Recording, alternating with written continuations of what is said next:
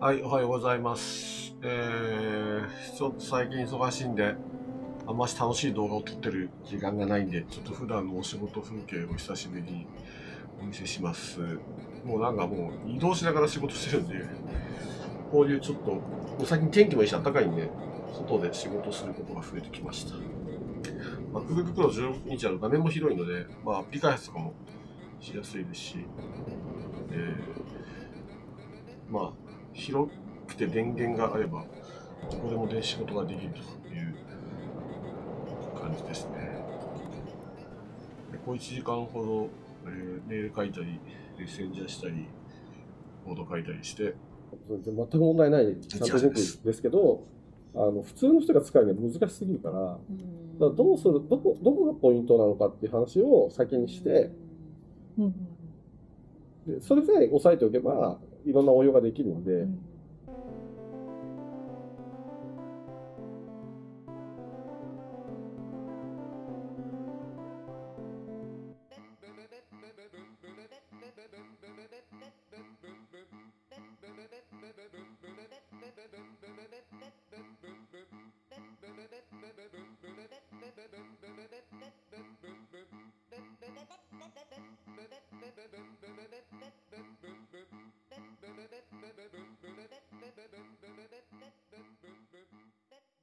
め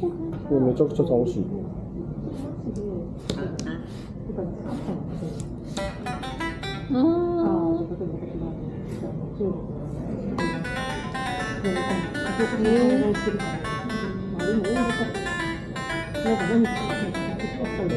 僕が今日朝打ち込んだテトリスの曲、ー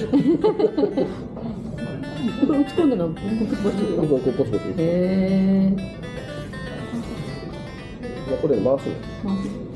いいなさらにこののエフェクターもなんかいろいろ変なのがあって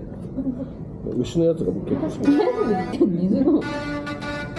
これの安い版が8万円ぐらいのやつそれでも結構できる使い方によってはそっちの方が使いやすかったですリズムはこれ刻まないんですか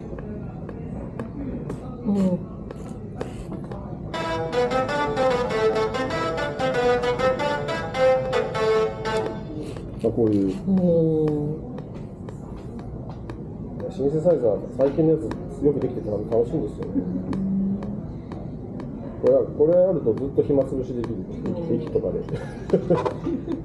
駅でやるんですか？駅とかあのイヤホンあるから。ああそういうことか。なるほすごい。初めての組み合わせですね。シンセサイザーと優子さん